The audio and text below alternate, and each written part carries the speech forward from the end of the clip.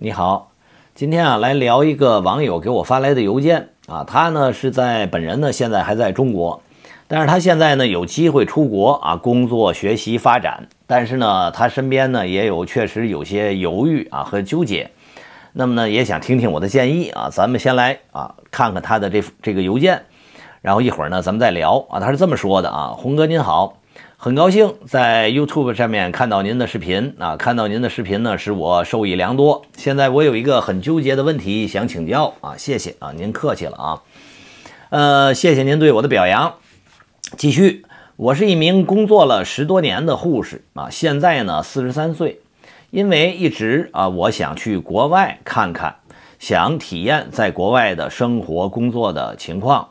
所以呢，这几年也一直都在关注关于护士出国的一些项目。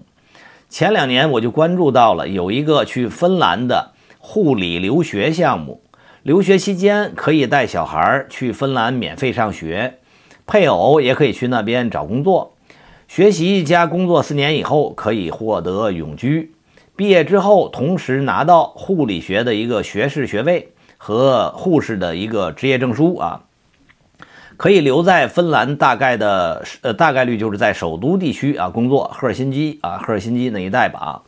那么今年呢，我参加这个项目的入学考试，现在收到了芬兰啊，他给我写了某一所大学的 offer，这个大学是很不错、很厉害的啊。但是现在到了我真正能去的时候，我又有点犹豫了，不知道该不该去。如果去的话，这边要辞掉啊辞职。现在的省级三甲医院的工作，相对来说，我现在的护士工作也还好，不需要上晚班夜班，收入呢，在护士这里面呢也还不错。我爱人呢，他也不是特别赞成我去，考虑到我现在都四十多岁了啊，他四十三嘛，自己呢现在是副高职称啊，护理硕士，觉得去那边有点不划算，不合算啊，他说不合算。而且芬兰那边的护士工资也不像美国、澳洲那么高，可能比我现在多一些，但是不会多很多。而且还要新学一门芬兰语。但是我对我的学习能力还是有信心的。在那边学习期间，学校是英语教学，只是这个芬兰语是必修课。就是他毕业证啊，必须得这个芬兰语哪个级别吧，必须得考过啊，应该是这个样意思啊。如果去芬兰学习这个项目呢，我还是有有优势的啊，压力不会很大，而且在两年以内啊就可以修完主要课程。主要的压力呢是学芬兰语。之所以去选择芬兰，是因为我喜欢芬兰，比较向往那个国家。而且呢，护士工作相相对来说呢，比国内可能轻呃，比国内呢轻松一些，还可以带孩子小孩儿啊，免费就读。听说芬兰的教育理念和教学质量都比较好，我也想带孩子一起去学习啊。但一想起我爱人，他可能不会去，他觉得这个项目对我来说不是很合算，但我又不想错过这个机会。所以真的是很纠结，到底要不要去芬兰学习？呃，他说呢，还有一个问题啊，也想请教。他说呢，因为我本身学护理专业嘛，今年呢也考了一个澳洲的、澳大利亚的注册护士的理论资格啊，也通过了。呃，现在呢，我只要通过我，他已经通过了一个，他是一个，他是挺长的这个 OBA 啊，注册护士项目已经通过那边理理论考试了。接下来呢，去澳洲呢要考技能操作。只是现在呢，这个旅游签证比较难啊，他这可能正在排队申请签证去澳洲考这个技能去啊。如果通过了理论和技能考试之后，再通过语言啊考雅思到一个级别，就可以直接在澳洲工作啊做护士了。所以现在他说我有两个问题想请教：第一，我要不要去芬兰留学？通过两年的学习，获得学士学位，拿个注册护士的资格证，然后就在芬兰啊工作。第二一个呢，我去澳洲的话呢，不需要留学，可以省一笔费用。不过呢，语言也不容易啊，英语它要它的那个级别比较高啊，而且呢，时间比较紧。澳洲的要求呢是在四十五岁之前，所以呢，这就是他的两个顾虑啊。另外，他说呢，还有一个问题呢，就是我爱人啊，他给我写了有一种慢性病啊，有一种慢性病，也不是特别严重啊，但是要要要要及时治疗，要长期有一个慢性的一个治疗吧。他说最近一年呢有一点变化，现在呢正在接受一种慢性治疗啊。他写的我就不暴露人家这个了啊。未来呢可能还要有一些手术措施，其他的身体情况倒还没没有什么问题啊。我爱人呢目前也还在稳定的上班，呃工作呢也比较稳定，所以呢看起来呢这些情况综合在一起，我内心呢就比较纠结。我是想出去看看，我爱人呢，他也尊重啊，说那尊重我内心的选择，所以这时候呢，我就比较犹豫。所以他发来这个邮件呢，我觉得是挺有意思的啊，因为首先说这位网友呢，您很棒，很厉害啊，就是您的这个职业能力、学习能力啊，都四十多岁了还 考试能那，我觉得真真是不错啊，这挺厉害的啊。所以呢，我给他一些建议，因为他的这个事情呢，专业性还比较强。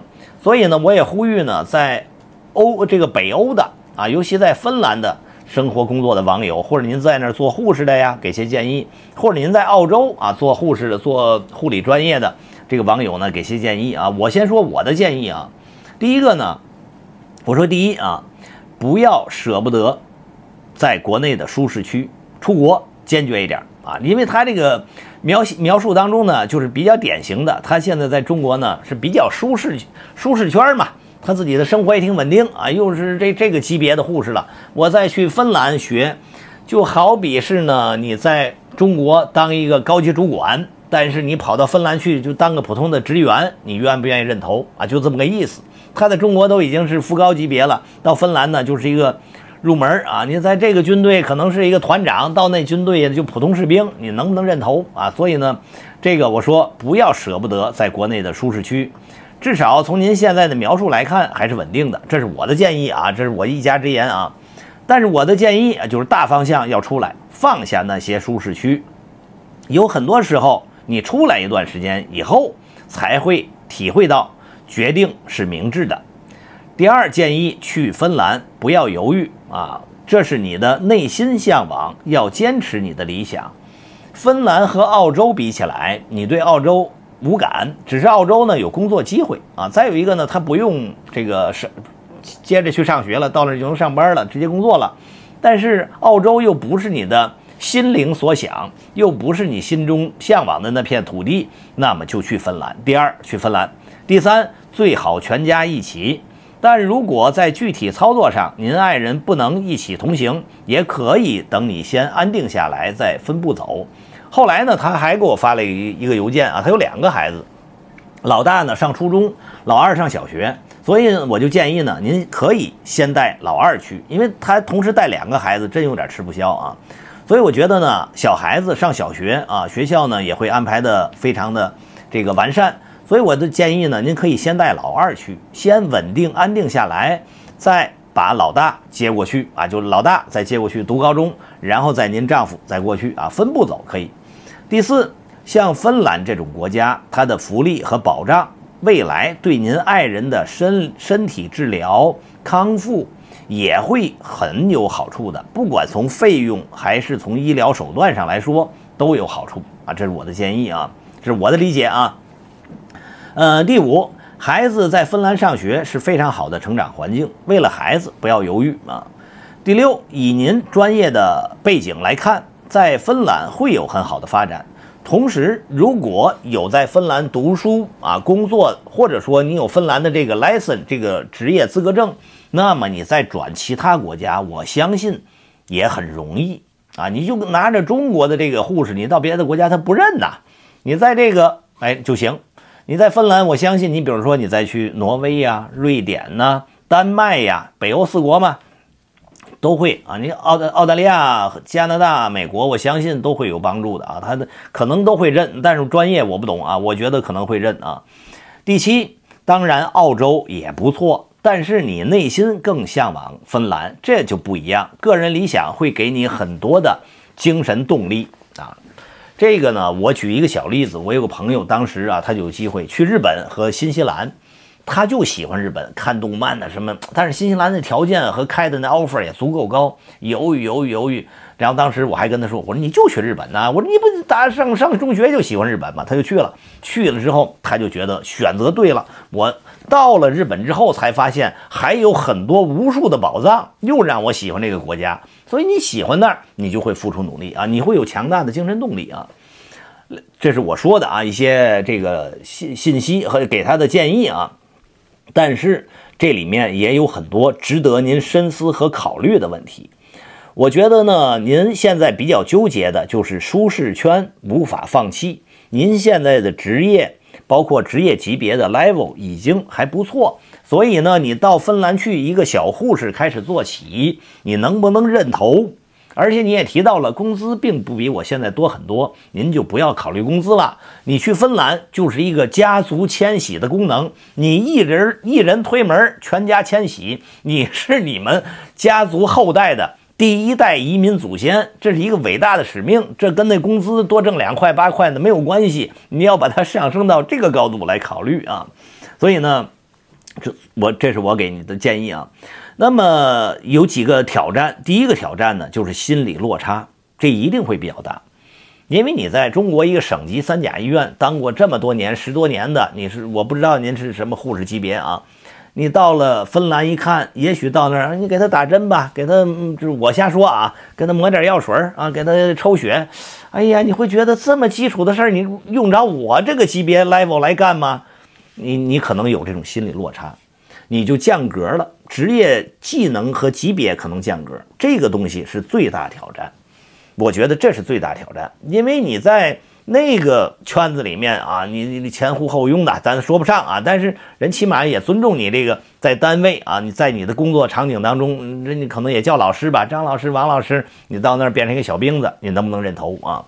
我记得以前有一个老的电影《北京遇上西雅图》啊，就吴秀波和汤唯演的。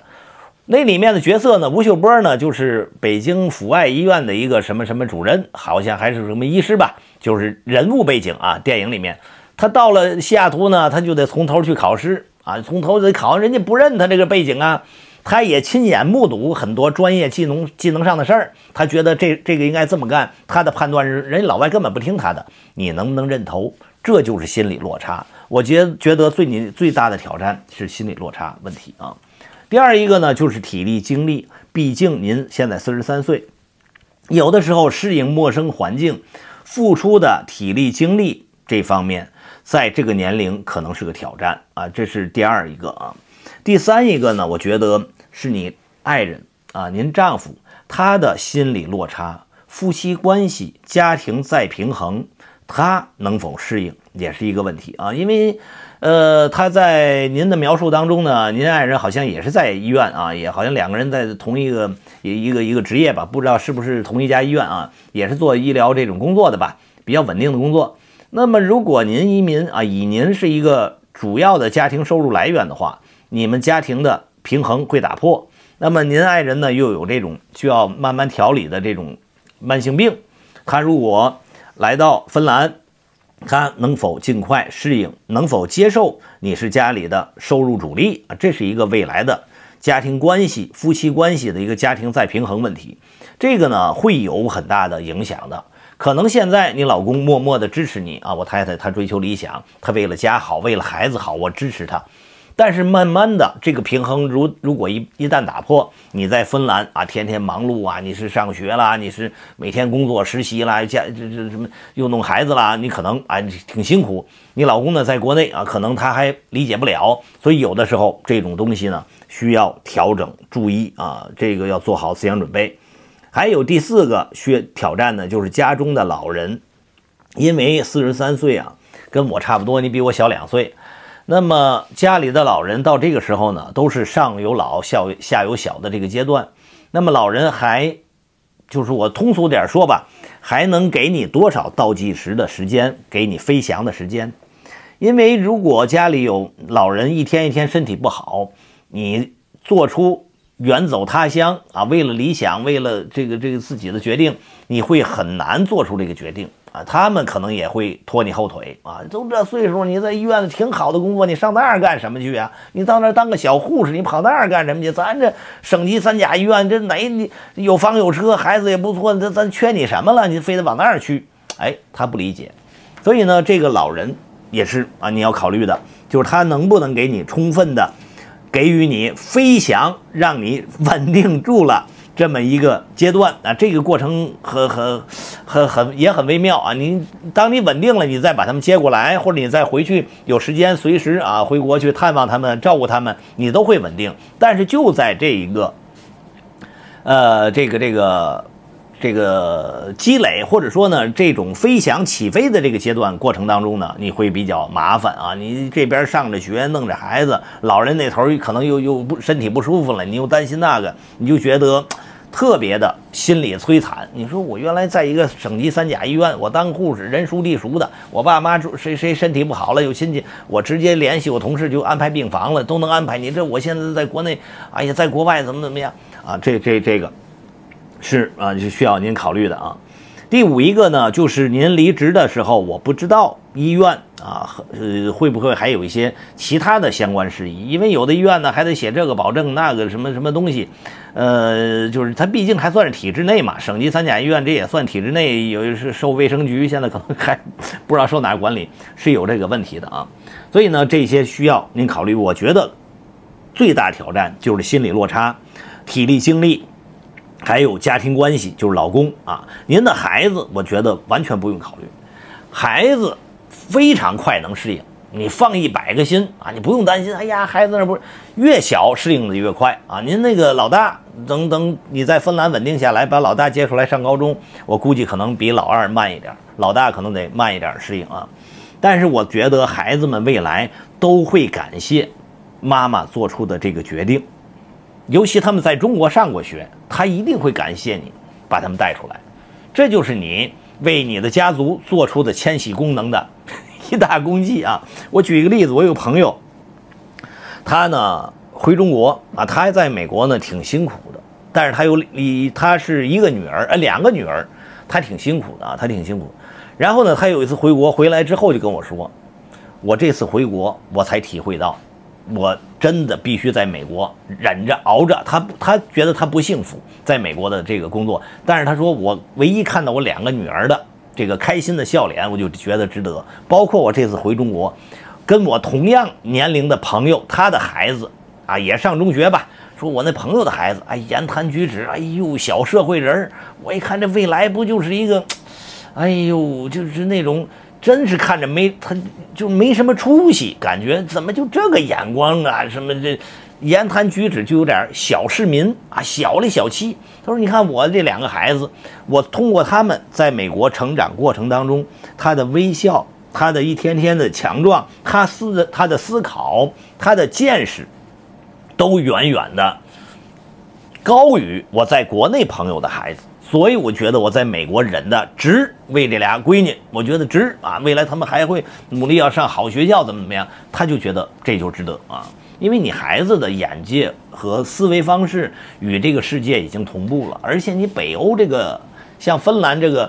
北欧四国，芬兰、瑞典、挪威，呃，这个这个丹麦，那都是常年什么什么经济指数啦，什么发达指数啦，什么民主自由指数啦，安这个媒体什么指环境保护啦，什么这各种永远排前十名的啊，那那 永远排前十名。那北欧四国那是这个星球上的顶级生活环境，你还有啥可犹豫的啊？有这种机会啊？有很多人考不进去的啊，你有这个机会。另外呢，这个这个网友呢还挺有意思的，问了我一个问题。哎，另外我有点小小的担心，呃，芬兰呢会不会打仗？这个问题呢我就不不回答您了啊。您我的建议呢就少看新闻联播，少看新闻联播，少看什么观察者网，少听胡锡进他们那胡扯八道啊。您啊到芬兰生活一段时间，您再回来看啊您自己的这个提问，我就当您是个开个玩笑而已啊。芬兰是去年加入北约的。芬兰的赫尔辛基距离这个这个这个圣彼得堡就四百多英里，看起来很近。但是我告诉你，谁更害怕？俄罗斯更害怕。圣彼得堡吓死了，莫斯科吓死了，普京更害怕。芬兰怕什么？芬兰加入北约怕什么？那把莫把把普京吓死，你你打仗，这这个，所以这个问题我就不解释了啊，您您您就出国慢慢体会啊。所以呢，我的建议啊，就是以上这些。另外呢，呃，最后总结，您个人觉得这件事儿值不值得这样付出？拿全家的代价，您一家四口的啊，您和爱人还有两个孩子，拿全家的代价来做，值不值得？您老公的配合度、支持度有多高？老人的倒计时给你的飞翔时间有多长？啊，你把这几个问题呢综合考虑一下，我帮您考虑呢，我是觉得值得。